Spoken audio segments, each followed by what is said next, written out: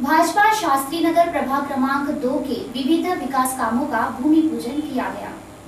भाजपा शास्त्री नगर प्रभाग क्रमांक दो द्वारा आयोजित जल शुद्धिकरण केंद्र तुकुम के पास हाई स्मार्ट लाइट का लोकार्पण उपगनलावार लेआउट के डॉक्टर देवतले नर्सिंग होम से जल शुद्धिकरण केंद्र इस रास्ते का लोकार्पण, प्रभाग के ज्येष्ठ नागरिकों का सत्कार, साथ ही भगवान बिरसा मुंडा के मार्ग का फलक अनावरण, ऐसे विविध कार्यक्रम लिए गए।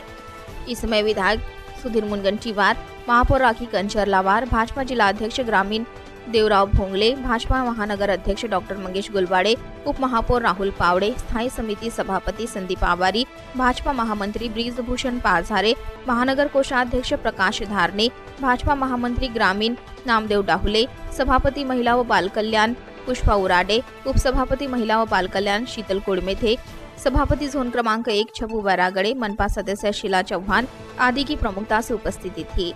कार्यक्रम का प्रास्ताविक रविंद्र गुरनुले ने किया तो संचालन सविता कामड़े ने किया और आभार प्रदर्शन विठल डुकरे ने किया।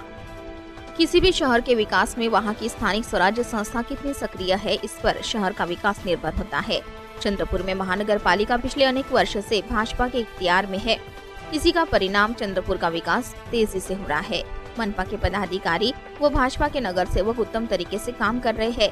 ऐसे ही काम उन्होंने आगे भी करे, ऐसा प्रतिपादन विधि मंडल लोकलेखा समिति के प्रमुख तथा पूर्व वित्त मंत्री विधायक सुधीर मुनगंटीवार ने इस समय किया।